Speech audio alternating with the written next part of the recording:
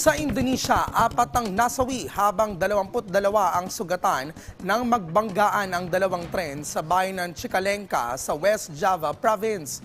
Wasak ang harapang bahagi ng dalawang tren matapos ang banggaan. Nagpabot naman ng pakikiramay sa pamilya ng mga pasahero ang pamunuan ng tren. Inaalam pa ang sanhi ng aksidente.